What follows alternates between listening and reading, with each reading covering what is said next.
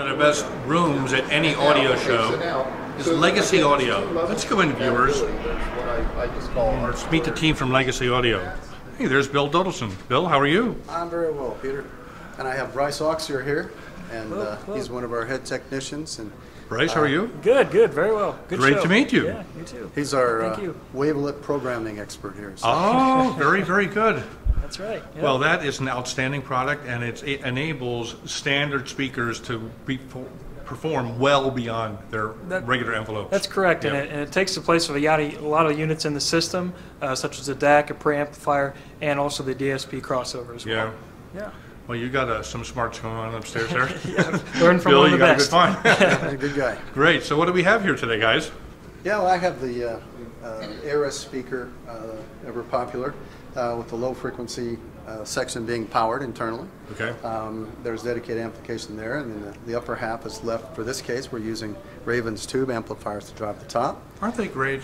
Oh, they're wonderful. Yeah, they really they are. Really are. Nice, and he has a range of, uh, of amplifiers that uh, I watched him sell a couple today. So Oh, good. um, this is the uh, the Calibre loudspeaker, which is a compact little monster and uh, has all kinds of dynamic capability, and has recently started making its way in professional studios. really? Yeah. Well, congrats on that. Right. Great. Uh, Want to continue down the line here? He's got some of his amps here. Dave Thompson's over to my right. Yeah. Yeah, we have a, a wide range of amplifiers here that we can drive stuff with. We have five exhibits at our show that are active display, so it's it's nice to have a variety of amplifiers, and we're always having people walking in going, well, can your speakers be driven with a single-ended uh, amp, 16 watts or something? Yeah. yeah. And it's, so it's nice to be able to prove that. Mm -hmm. And uh, so there's a lot of flexibility in what we're doing.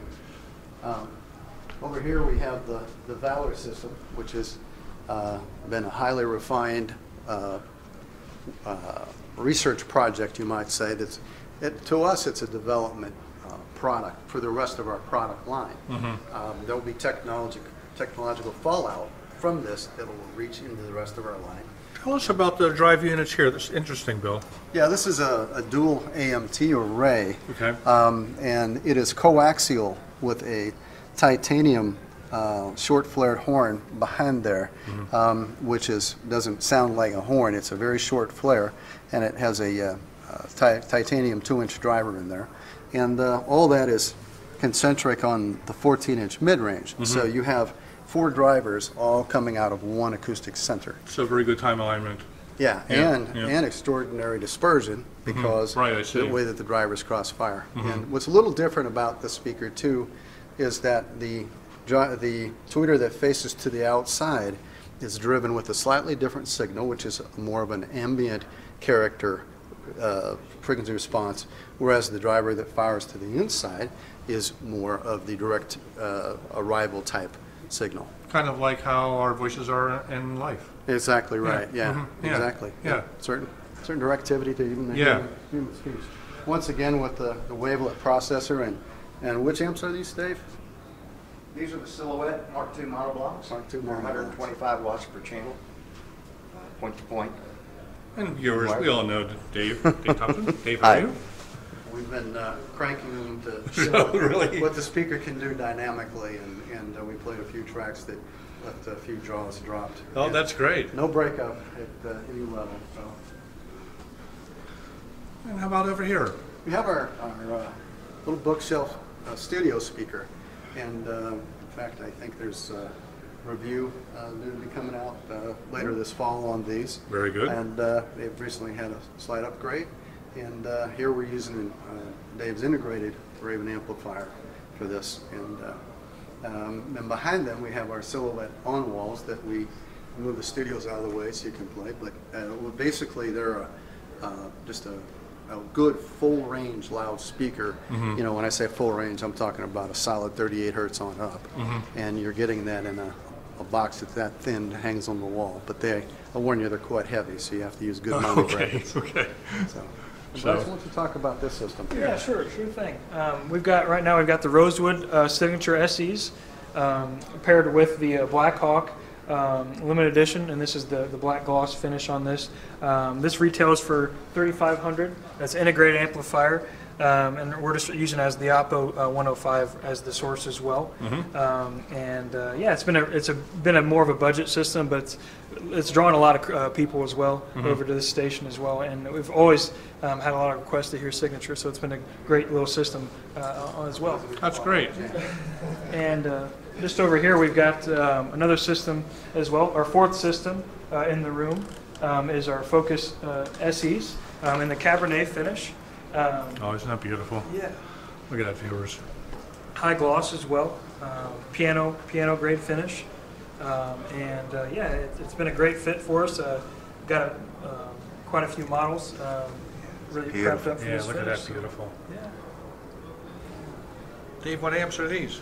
These are our flagship uh, monoblocks. They're 325 watts per channel. If you put KT150s in it, we can get a little over 400 watts Oh, per channel. goodness gracious. That's the Shaman Mark IIs. Okay. That's our Well- flagship. That's the top of the line there. Yeah, you can almost weld steel with that. Awesome. Almost. Almost. And again, uh, the uh, preamplifier is again the wavelet um, with the, with the DAC and Mhm. crossover unit as well with room correction. Mhm. And uh, like I said, we've got those on most of the systems in here. Um, really snaps the sound into focus as well. And when you have these large spaces, you you really need that DSP to really make it tight and articulate uh, in the system as well. Well, you guys are the experts at that. Yeah, yeah, Yeah, for yep, sure. yep. And, uh, Well, can we spin up a little bit of music before we leave you guys Yeah, today? sure thing, Peter. Yeah, okay, great. great. Let's do that next. Here we go.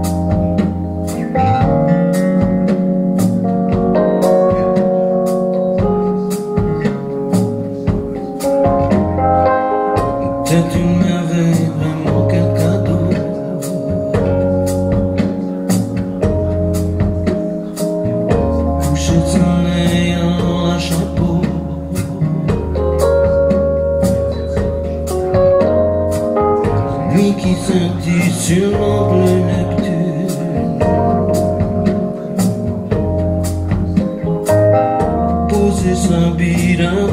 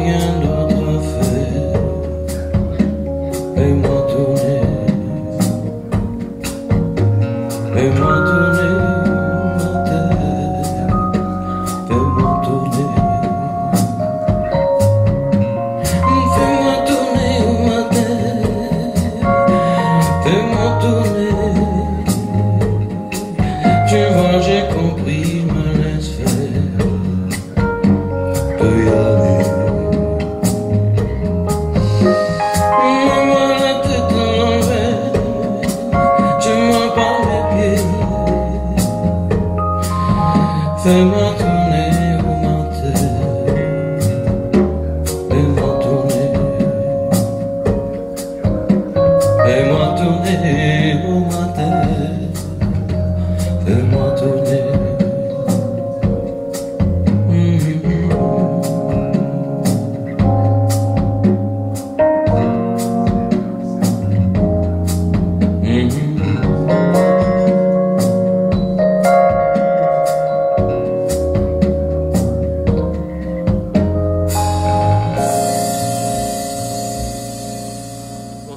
guys. That was a very, very sweet and big open sound. Michelle Jones was just right there, right in front of me.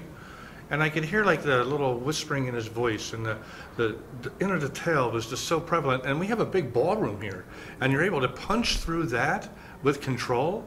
It's awesome. Yeah, thank you. It's just awesome. Great sound. Uh, it's really nice to meet you, Bryce, and uh, uh, thank you for teaming up and joining forces with uh, one of the giants of our industry, Bill Dudleston at Legacy Audio. What a great, great show here we have at Expo this year. Thank you, guys. Thanks for Thank you. Yeah, thank you.